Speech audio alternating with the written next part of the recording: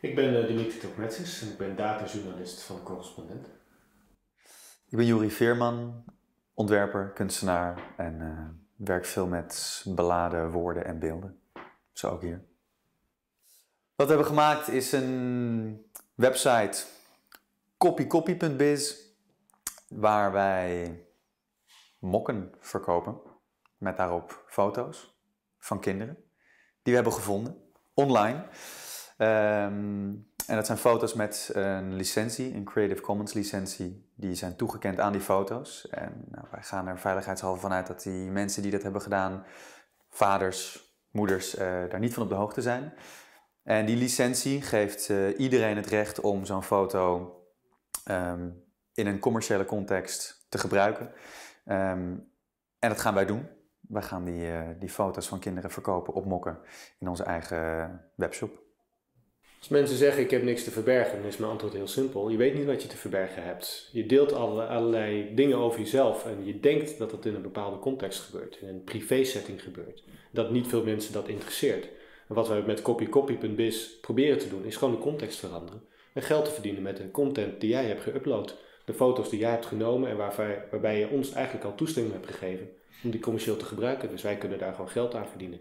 Dat klinkt heel raar, maar dat wordt eigenlijk continu gedaan. Facebook doet dat ook. Alles wat jij op Facebook zet, is van Facebook. Dus wat jij deelt in kleine setting kan zomaar overal belanden.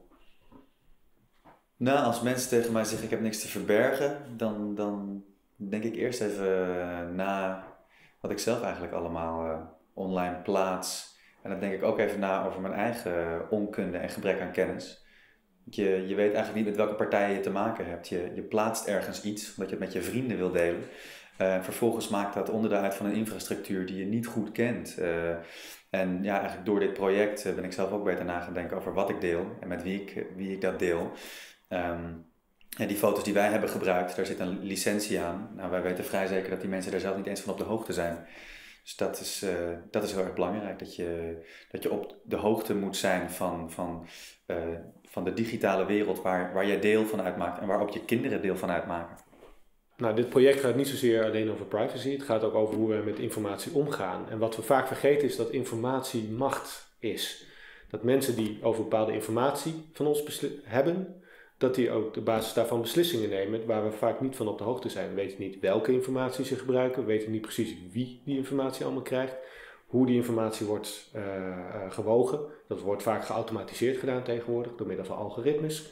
En dat leidt tot een bepaalde uitkomst die je niet in de hand hebt, waar, dus, je dus heel veel vragen over kan stellen. Um, Daarom zitten aan dat soort beslissingen, aan het gebruik van informatie, zitten allerlei politieke en ethische kanten die we nog helemaal niet adresseren. Dus uh, privacy gaat veel verder dan dingen te verbergen hebben. Het gaat vaak over hele politieke vragen.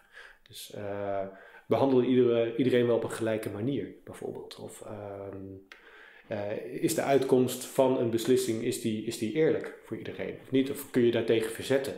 Kun je met een algoritme in discussie, bijvoorbeeld?